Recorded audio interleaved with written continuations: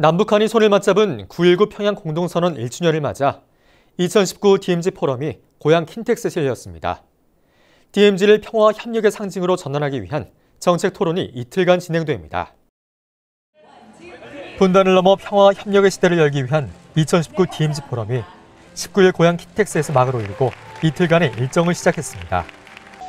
경기도와 경기연구원이 마련한 이번 포럼은 냉전 시대 마지막 유산인 DMZ를 평화와 협력의 상징으로 전환하기 위한 토론의 장으로 마련됐습니다.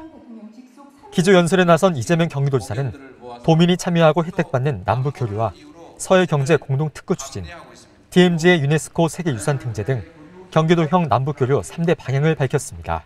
지정학적 운명과 분단의 현실이 우리를 억누르고 있다고 할지라도 굴하지 않고 꿋꿋하게 가는 것이 지금 우리가 해야 할 일입니다.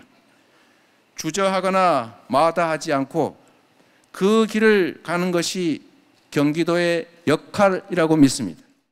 베트남 전쟁 당시 폭격으로 화상을 입었던 판티 킴프 여사는 트라우마와 평화 운동가가 된 과정 등을 이야기하며 남북한 분단 극복과 평화의 중요성을 강조했습니다. This reunification will require the breaking down of barriers, both tangible and intangible, that have been in existence for too long. I have no doubt that the leaders and people from both North Korea and South Korea are up to the challenge. 전 세계 여성운동과 여성평화운동의 데모인 글로리아 스타님 여사도 기조 연설을 통해 전쟁과 분단의 폭력성을 고발하고 한반도 평화가 세계 평화를 위해 중요하다고 주장했습니다. 특별 세션에서는 남북평화 협력과 한반도 비핵화, 동아시아 다자 협력을 주제로 국내외 지도자와 석학들이 해법 모색을 위해 머리를 맞댑니다. 기획 세션에서는 토론을 통해 DMZ의 평화적 활용과 문화유산 및 생태 자원의 보존 방안을 제시했습니다.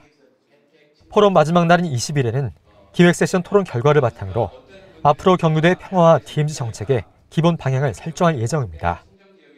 폐회식에서는 DMZ 평화 선언문을 채택하고 가칭 DMZ 평화상 제정 및 관련 기구 설립 등을 제시할 계획입니다. 경기슈TV 최창순입니다.